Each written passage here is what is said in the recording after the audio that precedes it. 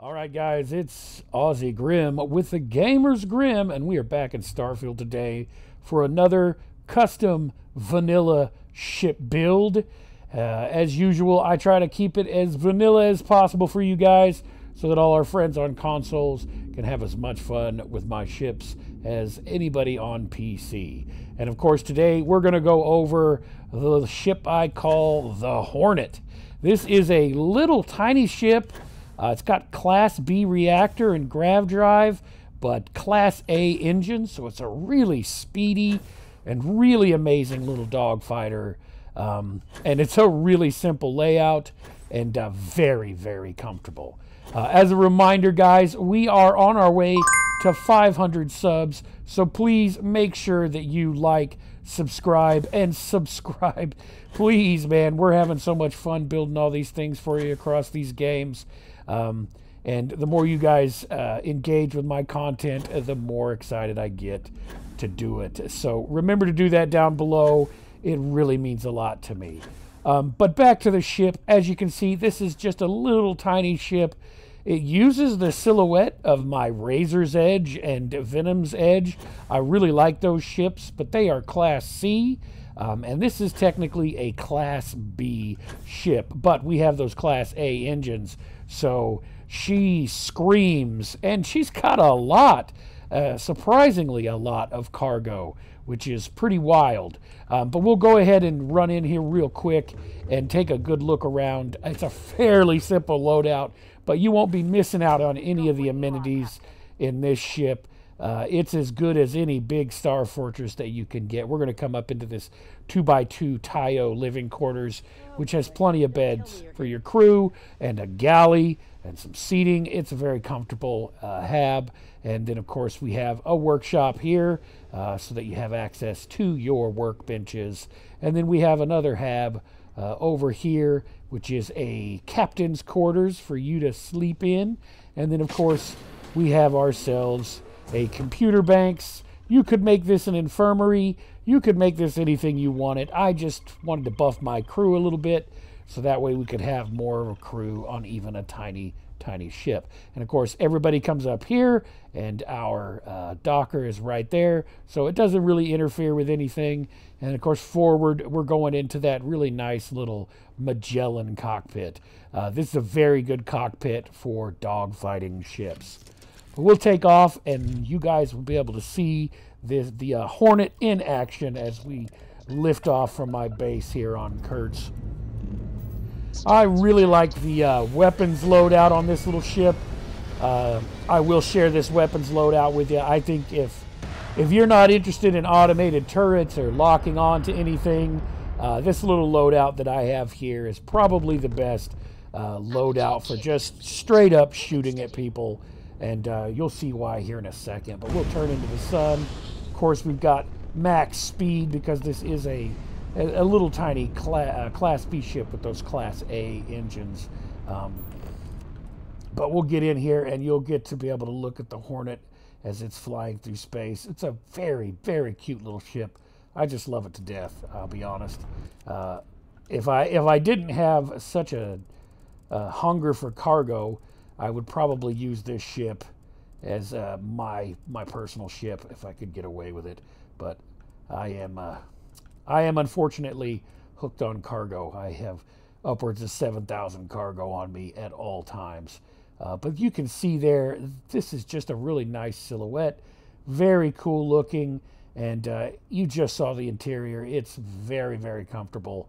You could really make this your home ship if you're not interested in uh, dealing with any of the larger ship layouts. And this could very well be a ship that you just make a Class A ship.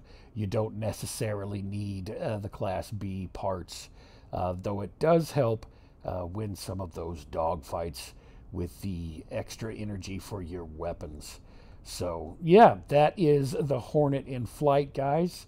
So we will we will move right on over to the uh, shipbuilder and we'll uh, kind of pull this apart. Very simple and easy build. So we'll be right back. Editing Ozzy here. I forgot to demonstrate the weapons. Uh, this is how this weapon loadout works. If you look, you can just unload like crazy. And your vanguards will run out, but you can continue to shoot uh, the other one indefinitely. It's got a very fast charge rate, but takes a lot of power. But uh, man, you can really just go to town uh, with this particular loadout and just lay into people. It just tears through everything and anything that you might encounter. And you can occasionally pop the top one off if you want.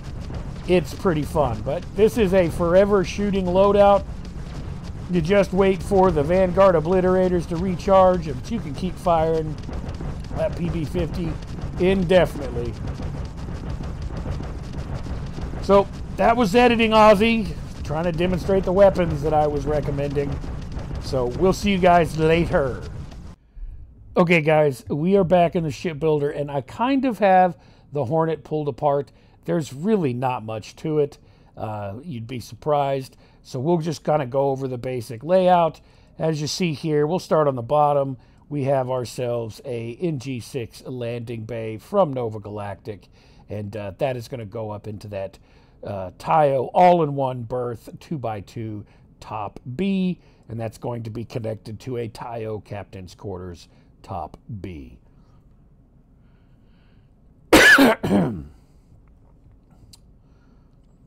And then, of course, underneath that, we will have our RD3000 beta grav drive, and then we will have our 204 DS mag inertial reactor from Dogstar.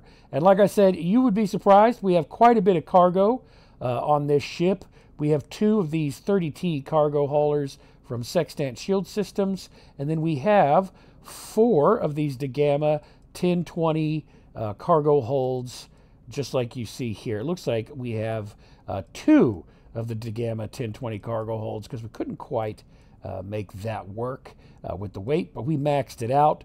And so we have uh, two uh, Degama 1000 cargo holds that carry a little bit less than the 1020s. So the 1000 is a little lighter, but that allows us to have a fairly competent amount of uh, cargo on such a tiny ship.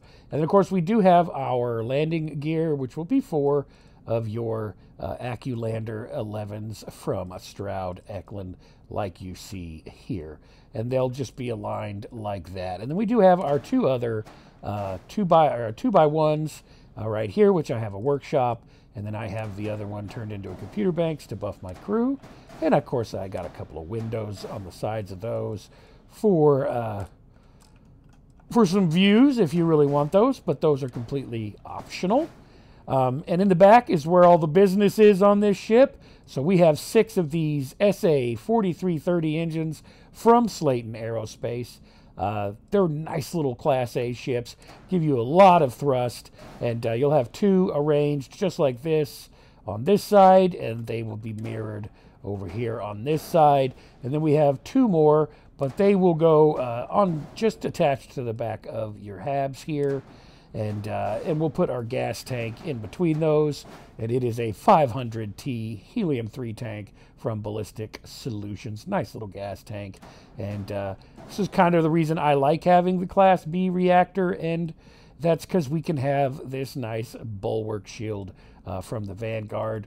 We have three of these Deimos bellies to just sort of make it look cool here in the back, uh, give it a nice silhouette.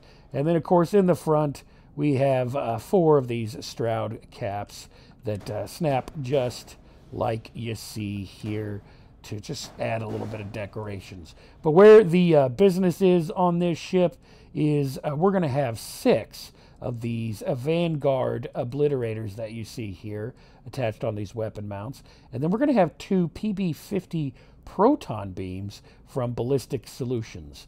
And as you can see, uh, they take four. And I do have one Exterminator 95 MV Hellion beam. Uh, you could put whatever you want here.